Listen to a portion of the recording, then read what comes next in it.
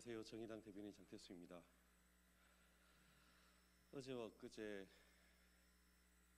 광주와 여수에서 있었던 어, 상제 사망 사고에 대한 브리핑입니다. 중대재해 처벌 등에 관한 법률이 만들어졌습니다. 의미가 작지 않습니다. 그러나 법은 살아있지 못합니다.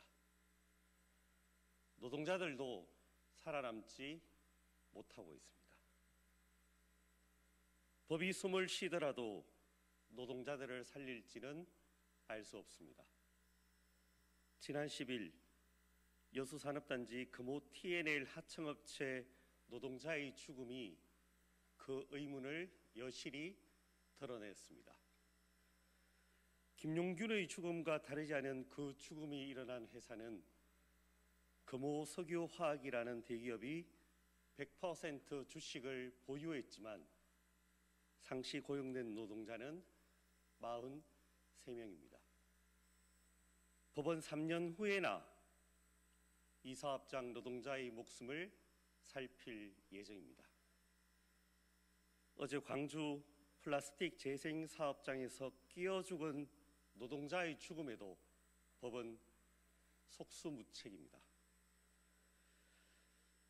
중대재해라는 기업 범죄를 저지른 기업주 처벌을 통해서 노동자 생명을 지키는 안전장치를 마련하자는 것이 입법 취지였습니다.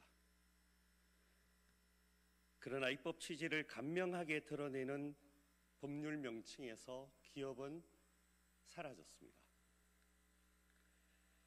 기업주 책임은 안전보건 담당자에게 덤터기 쉬워졌습니다.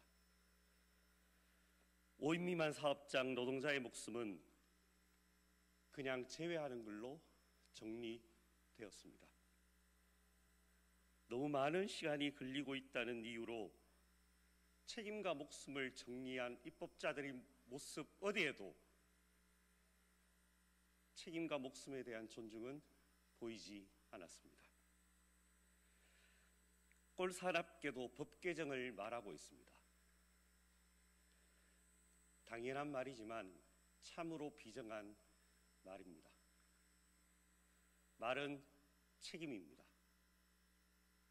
죽어간 노동자들에게 죽어갈 노동자들에게 그들이 어떻게 책임지는지 지켜보겠습니다.